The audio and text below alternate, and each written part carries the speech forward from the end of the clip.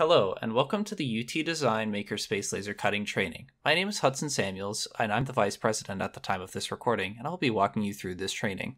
The first and most important step is turning on the exhaust. You can see there's a switch on the side that you need to use to turn it on.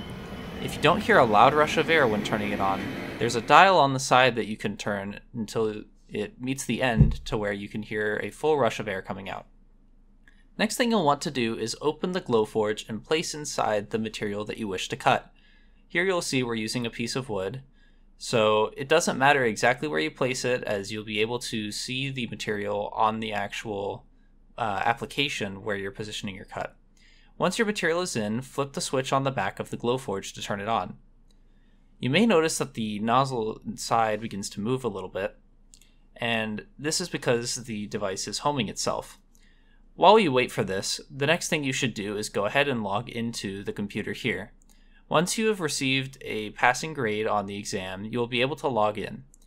Please note that it will say laser user once you sign in. This is intentional.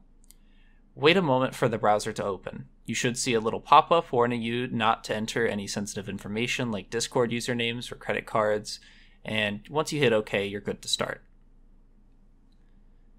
So the first thing you'll see is this list of existing designs. So you can use any of these if you would like, however, it's more likely you're going to use your own design. You can click upload at the top left and select your own custom file to upload if you would like. You can use any graphic design software that supports SVGs or PDFs like Illustrator or Inkscape. We'll go ahead and use the example at the top left of this lightning bolt. Left click the example you want to use, and you'll see it pop up on the screen here. You should be able to see the material inside of the laser cutter. However, if it hasn't finished taking pictures of inside of the cutter, it may need to wait a moment. You'll see here that I'm waiting for the device to home. While you do this, go ahead and put on your Glowforge safety glasses. These will be useful later on in case you need to look at the laser while it's running. Never look at it without any PPE. First thing you need to do is select your material. At the top right, there's a Select a Material button. Once you click that, it'll say Unidentified Material. At the top, click Specify Material Height. You'll see a list of materials, but you'll need to click Enter Material Height. Enter the material thickness in inches and then hit Submit. We're using 0.25 inches as an example here. Next, you'll need to choose the specific settings for your print. First, you can transform your image by rotating it or scaling it as needed. Next, on the left, click the image of whatever it is you're trying to cut. You'll see a lot of various options here.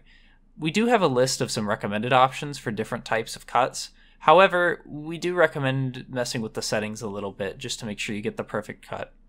You'll notice speed is how quick the laser goes, power is how powerful the laser is cutting, uh, we generally recommend convert to dots for the pattern of uh, grayscale. However, you can change that if needed. And make sure you specify the amount of lines per inch and the amount of passes. You can also save a preset by clicking the plus at the top right. Or you can hit back and use an existing preset as pictured here. However, this isn't as recommended. Once you have selected the exact values that you'd like, go ahead and click back into the center of the page. You'll see Ready at the top right, and you can click the Print button at the top. We aren't going to actually print for this example since the Glowforge needs some cleaning, but you should understand the general process now. Go ahead and close out the browser and sign out once you're done. Go ahead and head over to the Glowforge, turn off the Glowforge, and wait a few minutes, preferably two to five, for the air filter to completely exhaust all of the air from within the Glowforge. This will prevent any uh, particles from escaping the Glowforge. Then turn off the exhaust on the side. Once you're done, go ahead and lift the lid to the Glowforge and take out your material. This concludes the Glowforge training. Thank you for watching.